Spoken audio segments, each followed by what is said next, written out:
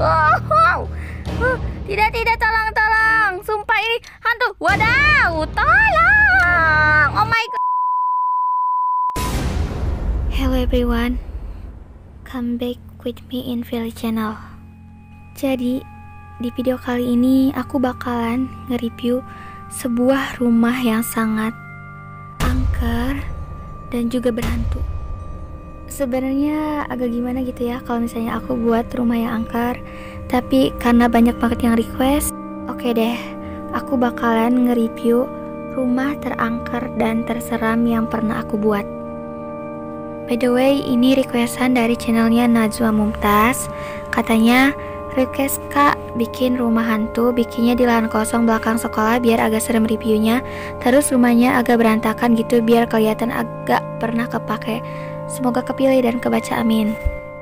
Oke, sesuai janji aku, request dengan like, komen terbanyak.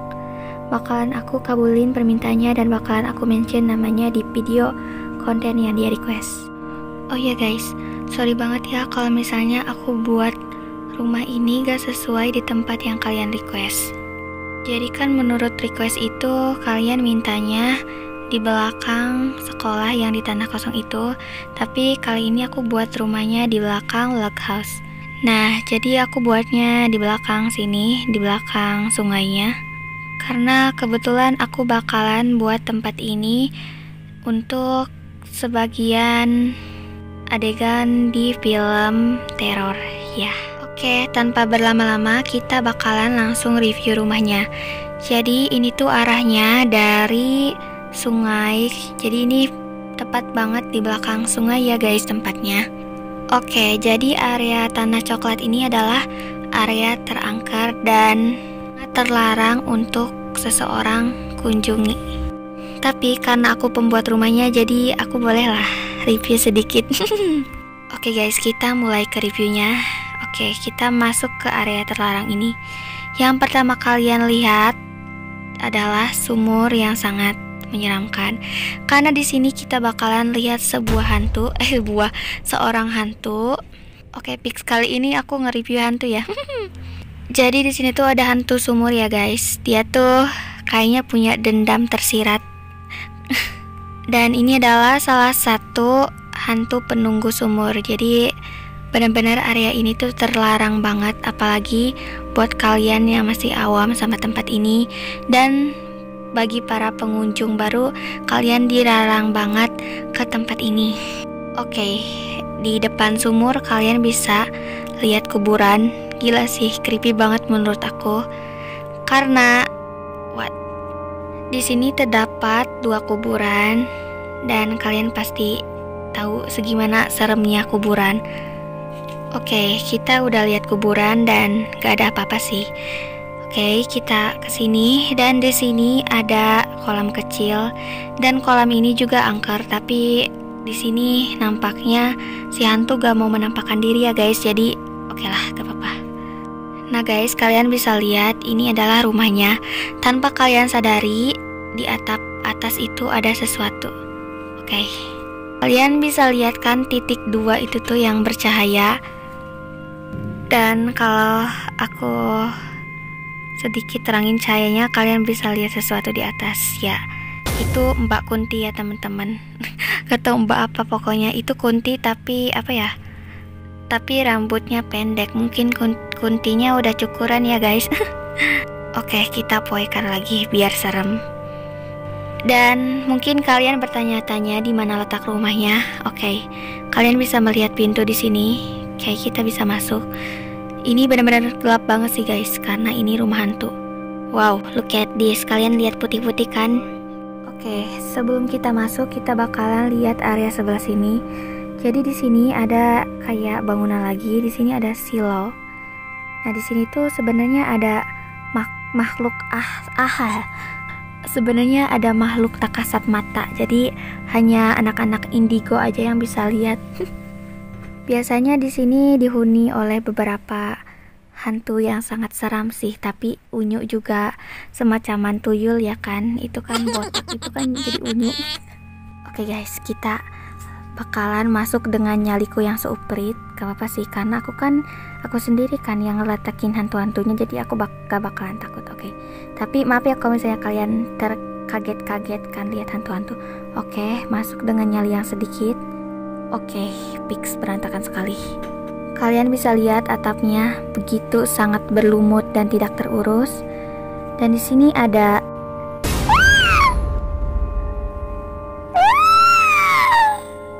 ada Mbak Kunti guys tapi Mbak Kuntinya sedang memakai masker ya. Jadi agak lucu lah dikit. Oke kita bakalan uh, bersalaman bencengkrama karena ini rumah dia Permisi Mbak Kunti, saya hanya sedikit akan mereview teman-temanmu dan tempatmu yang sangat angker ini. jangan berlama-lama. Oke teman-teman, aku takut ya lihat mukanya karena Mukanya seperti itu, menyeramkan sekali dan sedikit lucu sih. Oke, kita diizinkan untuk mereview rumahnya yang sangat berantakan ini. Aku gak tahu kenapa dia berloncat-loncat seperti itu. Oke, next review. Jadi di sini ada tempat duduk yang sudah terjungkal-jungkal. Aku juga kurang tahu pasti uh, kenapa rumah ini jadi angker, tapi kalian bisa lihat dari areanya. Jadi area ini kan di log house dan log house ini masih ini banget pemukiman. Jadi Mungkin ini tempat untuk dipakai untuk kejahatan seperti itu. Mungkin mau memaafkanmu kembali. Oke, di sini banyak banget, banyak banget ya. Di sini banyak banget lumut-lumut dan runtah-runtah. Eh, runtah. Aduh, apa ya ini teh? Uh, sampah iya. Terus di sini tuh ada kursi yang sudah terjungkal. Aku gak tahu ini kenapa terjungkal. Mungkin gara-gara Mbak Kunti ya. Hmm, Mbak Kunti sangat hebat uh, ini aku yakin banget sih kalau ini tuh kayak apa ya kayak tempat penyekapan seperti itu karena bisa kalian lihat dari tempatnya ini yang sangat-sangat terlihat menyeramkan pix di sini ada ini oke okay. Oke, okay, aku baru tahu ternyata Kunti bisa lihat TV ya, tapi di sini TV-nya udah pecah. Aku semakin yakin kalau ini tadinya tempat penjahat. Oke, okay, kalian gak perlu nanya kenapa di sini banyak-banyak banget snow eh snow Duh, apa ya namanya? Asap-asap karena di sini ini tuh tempatnya dingin banget dan banyak banget terjadi kebakaran-kebakaran gitu. Mungkin. Oke, seperti ini guys untuk ruang tamunya. Oke, kita ke kamarnya. Ini setahu aku kamar ya, kan aku yang buat. Oke. Oke. Oh my god. Look at this. Kita melihat sosok yang sangat aneh sekali guys. Dia seperti sedang kelaparan dan akan mengejar saya. Oke, kita lihat. Agak kaget guys sebenarnya, tapi dia terlihat sangat menyeramkan. Wah, kita bisa lihat sana itu ada pemakaman ya. Mungkin itu makam-makam para mereka dan ini arwahnya keluar sendiri. Aduh, aku merasa menjadi jurnalis saya sekejap. Oke, kita bakal lihat keliling kamarnya. Ini ada kasurnya begitu kumuh. Kas kasurnya begitu kumuh. Oke. Dan begitu terheran-heran aku setelah melihat bayi bajang ini. Tengoklah teman-teman, bayinya sangat creepy, kepalanya sangat besar.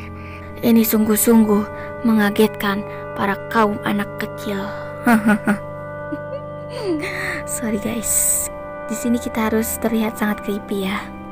Jadi ini kamarnya. Oke, kalian bisa look at ya, kalian bisa lihat di sini.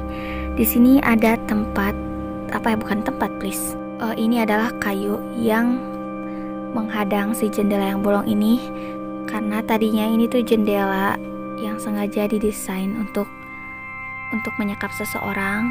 Lalu mungkin uh, ada beberapa kayu yang telah terbongkar dan hanya tersisa dua ini. Jadi si apa ya si korban yang diculik itu bisa lolos dari bawah sini tapi sedikit creepy juga kalau misalnya kita lolos dari sini karena kita bisa langsung ketemu sama kuburan oh so creepy oh ya btw ini kenalin ya hantunya namanya hantu sinder bolong. Oke kita bakalan ke tempat yang selanjutnya. Oke seperti biasa di sini ada runtah-runtah ya teman-teman.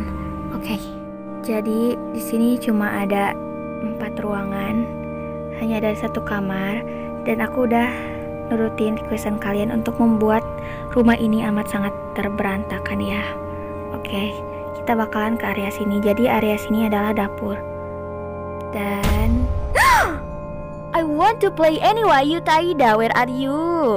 Kenapa Yuta juga jadi hantu teman-teman? Padahal aku gak suruh, tapi oke okay, gak apa-apa sih. Ini sedikit creepy ya si Yuta. Oh my god. Ih, mukanya gila, seperti bonyok-bonyok. Oke, kita bakalan buka kulkas ya, tahu ada hantu. Wah, ternyata gak ada hantu guys. Gak bisa aku buat hantu di kulkas. Jadi guys, ini tuh ceritanya udah kotor ya guys. Ini sih tempat makannya. Ini tuh si Yuta tuh tukang makan. Jadi hantu Yuta tukang makan ya. Tuyul ya lebih tepatnya. Dia suka maling-maling duit. Nah guys, jadi ini tuh tadinya tempat keluar, tapi ini tuh sengaja sama si penjahat itu di apa ya di jodang. Aduh, jodang teh? Ya pokoknya dijaga gitu pakai kayu-kayu. Tapi mungkin karena penjahatnya sudah tiada, jadi tempat ini begitu sangat angker ya teman-teman. Wow, so creepy sekali. Dan kita bakalan buka ke area sana. Sumpah sih aku sudah merinding karena di sana aku gak tahu ada hantu atau enggak, tapi setahu aku sebuah kamar mandi itu tempat yang paling banyak disinggahi oleh makhluk-makhluk tak kasat mata. Hehehe. Oke. Oke, kita bakalan masuk dan Ya gak ada apa? Ada suster dong. Oh my god. Ya, oke teman-teman, jadi di sini tuh banyak-banyak sekali darah ya ceritanya. Padahal ini daun ya kalau gak salah. Oh iya, jadi belasem. Tapi anggap aja darah ya teman-teman. Nah jadi di sini itu ada suster ya guys. Ini tuh suster yang mungkin diculik juga sama penjahat. Oke dia tuh kayak dicekik gitu kan guys. Serem banget sih, gila gak ngerti lagi, sumpah. Dan di sini kamar mandinya begitu kumuh sekali. Oke, okay. ya. aku tidak kaget ya karena aku yang buat sendiri tuyul ini di WC di kloset. Oke, okay, tuyul, how are you doing? Wah, tuyulnya marah guys, tapi ganteng sih kalau misalnya dia udah besar. Oke, jadi ini adalah hantu kecil ya. Apa ya namanya? Hantu tongo ya guys itu. Dia selalu hinggap di WC, berarti hantu Hmm, ih, gila sih sumpah si Yuta terlihat sangat creepy ya dari sana seperti suster ngesot. Kasihan banget sih susternya cantik-cantik pula.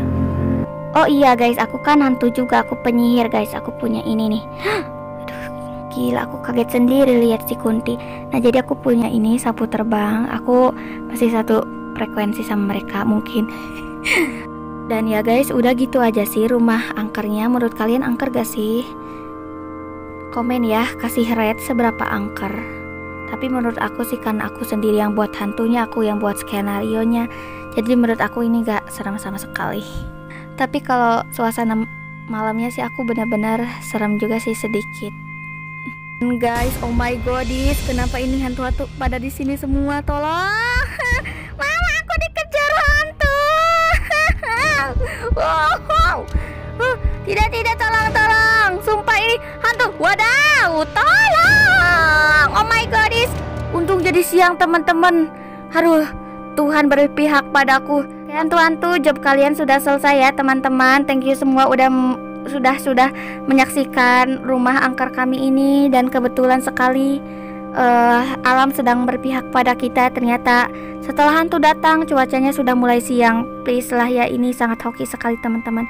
Thank you for watching teman-teman. Kalian boleh request uh, bikin rumah tapi jangan yang serem-serem ya. Aduh aku juga sedikit kaget ya lihat.